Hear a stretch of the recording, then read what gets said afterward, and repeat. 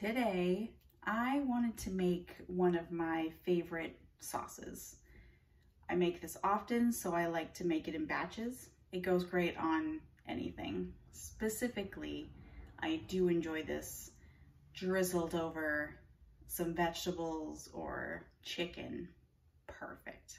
It is my lemon, garlic, shallot, and thyme sauce.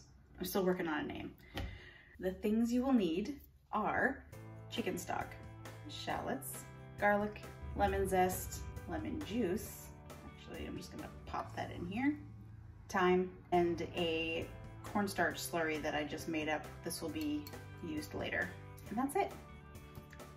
It's very simple, very flavorful, just with this stuff. It's so delicious. So let's get started. In my skillet here, I have a couple of tablespoons of olive oil on a medium heat.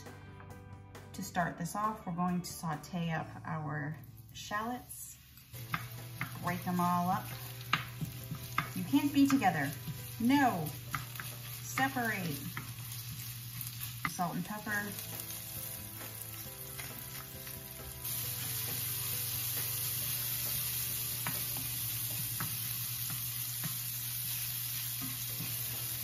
These have been going for a minute or so. They're starting to get kind of crispy, so I turn the heat down to a medium low-ish. I kind of like them crispy, but if you want to really sweat them out, use a low heat on this if you don't want any color. Into here, I'm gonna put the garlic. Give this a good toss around. You can cook this just for maybe a minute, you want the garlic to get the slightest bit of color. These shallots are making me cry. The garlic is starting to brown some, so we're gonna stop it from cooking. I'm gonna put in my chicken. Give this a little stir around. Raise the heat again to about a medium. You want this to come up to a boil. This is smelling very delicious that lemon juice was also added in with that chicken stock. So if you're keeping it separate, add in the chicken stock and the lemon juice at this point. I'm going to put in about half of the zest. Mm, this smells so good. And wait for this to come up to a boil. I'm just gonna let it boil away, reduce down just a little bit before we add the slurry. This has been going for a couple of minutes. It has reduced down ever so slightly. You just wanna really try to concentrate those flavors. Before we add the slurry, all you have to do is make sure it's boiling.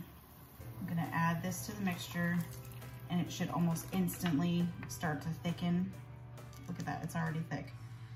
With slurries, when they're added, you want to add them and make sure it comes back up to a boil and then you're pretty much set, good to go. Now that's boiling, I'm going to add the thyme and the rest of my lemon zest. This is now done. It is thick and glossy. I'm gonna take it off the heat. And that is all she wrote. As this cools, it's gonna continue to thicken up a lot.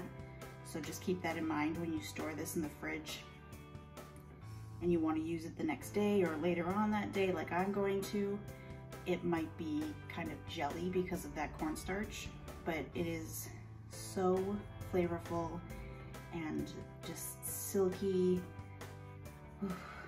This is the good stuff. When you want to use this again, if you're storing it, if you're not using it right away, just heat it back up in a pan or just microwave it for a little bit. It'll loosen right back up to where it was and you can top whatever with it. I love this on vegetables like roasted broccoli or asparagus, Brussels sprouts. Oh, it's great on everything. And I really like it over maybe some breaded chicken cutlets with some pasta. It's perfect. Make this, you'll enjoy it.